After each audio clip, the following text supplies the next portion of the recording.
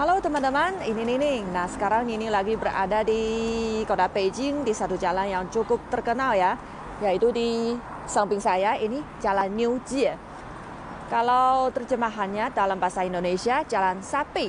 Kenapa disebut sebagai Jalan Sapi ya? Ada satu ceritanya adalah karena tempat ini, wilayah ini adalah tempat permukiman etnis Hui. Mereka adalah Muslim ya salah satu uh, etnis yang beragama Islam di Tiongkok dan juga ada banyak yang menghuni di kota Beijing. Uh, etnis Hui mereka sangat terkenal pandai memasak daging sapi. Makanya di jalan ini dan jalan-jalan di sampingnya ada banyak restoran dan toko atau supermarket yang jual daging sapi yang halal. Makanya seluruh warga kota Beijing mau beli makanan halal khususnya daging sapi dan kambing ke tempat ini. Uh, makanya misalnya seperti Nining ya, hmm, Nining bukan Muslim, Nining adalah etnis Han. Uh, tetapi Nining juga seperti semua warga di Beijing ini, kami sangat mau, sangat sering ya ke tempat ini untuk beli makanan halal uh, dan juga makan langsung di restoran. Misalnya uh, restoran ini yang sangat terkenal. Uh, tulisannya adalah warna hijau yang sangat disukai Muslim di Tiongkok hmm, hari ini kebetulan saya mau temuan dengan teman di wilayah ini, makanya saya jalan-jalan di sini dan membawa Anda jalan-jalan juga ya. Dan kalau saya saya jalan terus ke depan, ada satu uh, masjid ya sangat terkenal di Beijing juga. Itu adalah yang paling tua di kota Beijing. Uh, yaitu Masjid Jalan Niu Jie, Masjid Niu Jie Li Bai Si. Tetapi sekarang ini ya keadaannya enggak dibuka kepada umum kepada kepada seperti saya yang non muslim itu. Untuk kunjungin saja karena sekarang ini kebetulan pandemi yang terjadi di Tiongkok makanya mereka juga membatasi orangnya yang pengunjungnya ya. Tetapi kalau bagi mereka yang mau uh, mau ibadah mau melakukan kegiatan agama boleh masuk. Tetapi saya tidak boleh. Saya kasih lihat di luar saja ya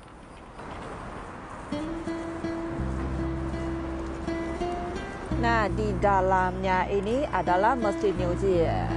Dan ini adalah Masjid New Jie. Wah, ini bangunannya sangat stylenya sangat Tiongkok ya. Bagus banget. Oh, ini papanya. New Jie Masjid. Wah, bangunannya luar biasa. Nini sendiri pernah memasuki masjid ini. Waktu itu saya juga mendampingi beberapa teman dari Indonesia uh, saya pernah lihat ke dalamnya bangunannya sangat style Tiongkok. Dan instalasinya sangat bagus banget keadaannya teman dari Indonesia ya. Saya sendiri bukan muslim jadi saya tidak terlalu kenal ya. Ya ini tulisannya artinya harus bermasker dan jaga jaraknya satu meter ya karena pandemi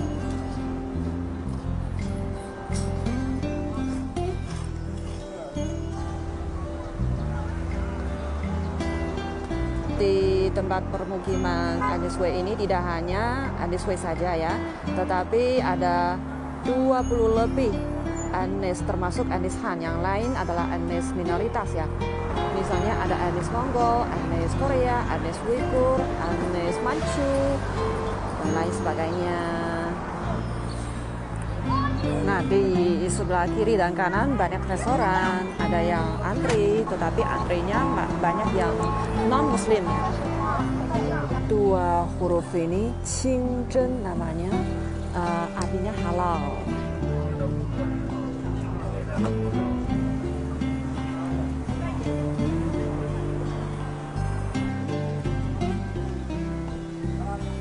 Ya, 啊，没有没有，拍一拍。可以拍吗？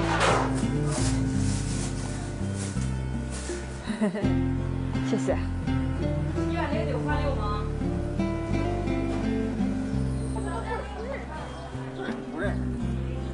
反正也不是没干。标准，确保回家，请你应该交放所有。Uh, di sini meskipun mereka uh, muslim ya tetapi tokonya tetap dibuka karena yang belinya pada siang hari itu non muslim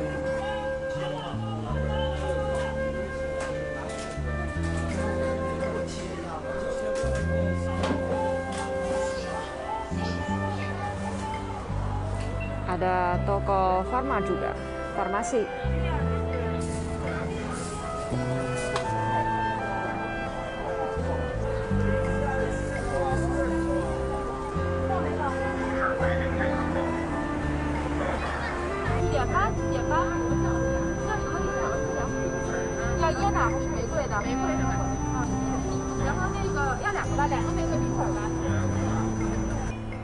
Ini badan layanan umum ya dari pemerintah. Restoran Turban, Xingzhen Halal, toko sayur dan buah-buahan. Kantor pos ya.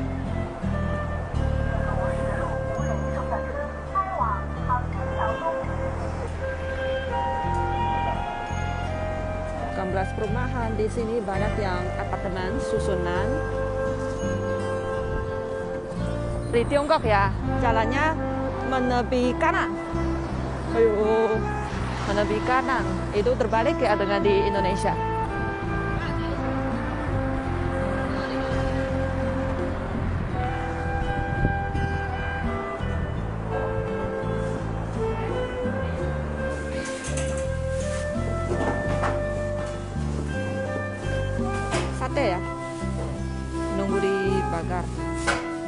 Satu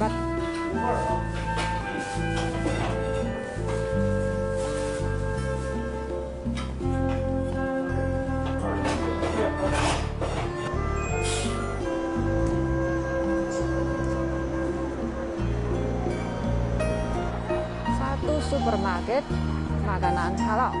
Laporkan kondisi kesehatan dulu baru boleh masuk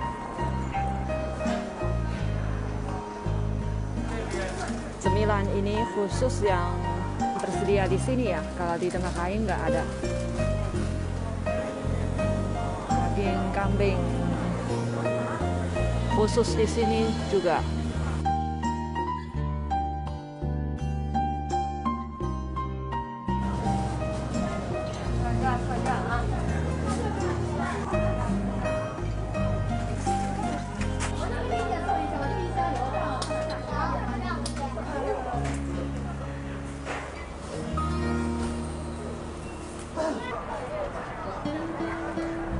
Restoran ini selalu antre. Kalau jalan-jalan di sini ya uh, berbelanja di sini saya rasanya cukup harmonis ya, bisa merasai keharmonisan antar uh, agama yang berbeda, budaya yang berbeda juga.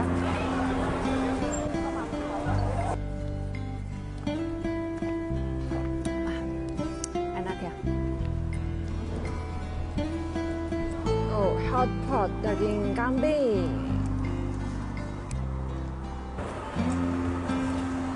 Kalangan muslim di sini banyak yang pakai topi warna putih ya.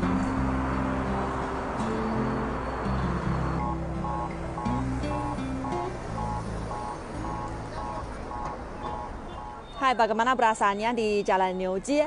Yang Nini kasih lihat ini, tunjukkan ini masih belum lengkap ya, masih belum selesai ya. Nah, di sini masih ada banyak restoran dan toko-toko yang patut kita cicipi dan juga ada banyak lembaga yang patut kita kunjungi ya. Selain kompleks kompleks perumahan banyak di sini juga ada taman kanak-kanak, SD, SMP dan lain sebagainya. Makanya kalau tinggal di sini ya nyaman banget ya. Nah, hanya tinggal beberapa hari saja teman muslim akan menyongsong Idul Fitri ya.